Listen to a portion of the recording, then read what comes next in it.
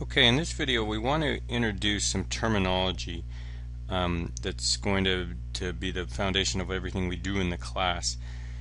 And so I thought the best starting point for that would be terminology that we're all fairly familiar with, which is that of financial accounting. So in GAAP financial accounting we're very used to revenue minus expenses gives us net income. So this is the income statement. And um, you recall probably with with not not entire joy how much time we spend thinking about recognition of revenue. When you think about your financial accounting classes a lot of it comes down to is it revenue or isn't it and when. So these concepts carry over into tax. However in the tax side of things we don't tend to use the word revenue that much it is used, um, but it tends to be income that we talk about, which gets confusing because the word income shows up with net in front of it, and uh, but we just have to accept that. For the most part, inflows are called income, and when we terminology-wise, when we talk about income and the questions that we have to figure out about it, we're asking, is it taxable or isn't it? So lots of money is going to flow in to a person or flow into a, a, corporation that is not going to be taxable, and some of it is. And so we're going to be trying to figure out is it taxable or isn't it. And the same thing, we're going to want to figure out the amount and when. So it's just revenue recognition is basically my point, but it's it's slightly different. On the expense side, again, we we use the word expense, but really in tax what we talk about are deductions but they're just expenses. And so the net income that we're trying to get down to is taxable income. So this is the amount that we will apply a tax rate to to come up with the tax that is paid. But just step back with deductions again. So with expenses here, we always talk about recognition too, and amount, and when, and you'll recall that in coming up with this, the matching concept was one we had to be very familiar with. So we want revenues and expenses in the same period, and so we find the expenses that were incurred to earn that revenue that's being reported this year. Well, the same general principle applies in tax. We want the matching concept to be uh, in full force when we figure out when, what year, the timing and amount of deductions. However, what we the terminology we tend to use is is it deductible or not? How much of it is deductible and when is it deductible?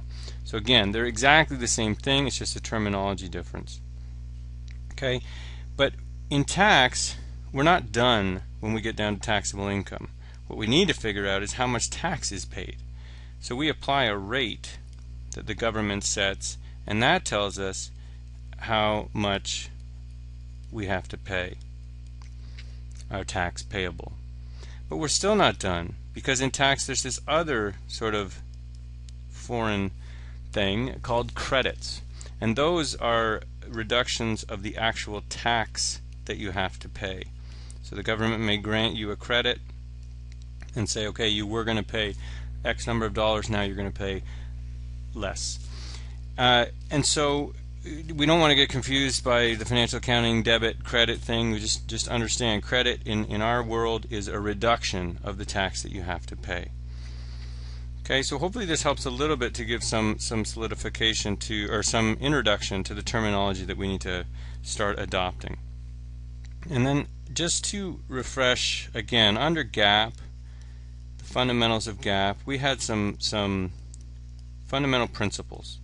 We have the going concern principle, which is that we assume that a business will continue into the future uh, unless there's uh, evidence to the contrary.